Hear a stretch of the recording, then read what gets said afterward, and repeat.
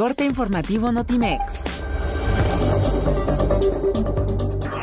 El presidente Enrique Peña Nieto firmó y envió al Congreso de la Unión una iniciativa de reforma a la Ley General de Salud y al Código Penal Federal, que de aprobarse autorizaría el uso de medicamentos elaborados a base de marihuana o ingredientes activos.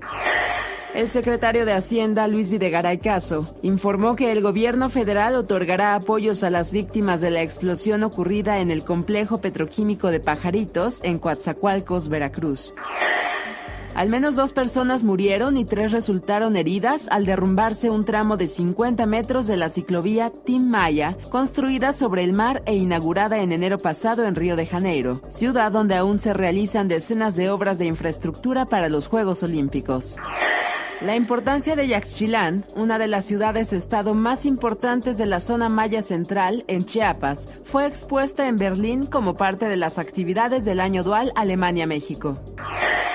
El presidente estadounidense Barack Obama se sumó al pesar internacional por la repentina muerte de Prince, calificándolo como uno de los músicos más dotados y prolíficos de su tiempo, que ha influido en la trayectoria de la música popular.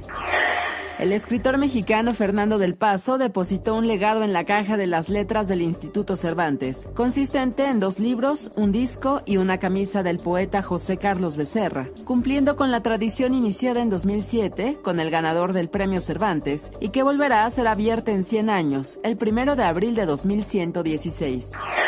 Barcelona reveló el proyecto de remodelación para el Camp Nou, que será un estadio abierto con capacidad para albergar hasta 105 mil personas en las gradas y el cual se espera concluya en 2021. Notimex. Comunicación Global.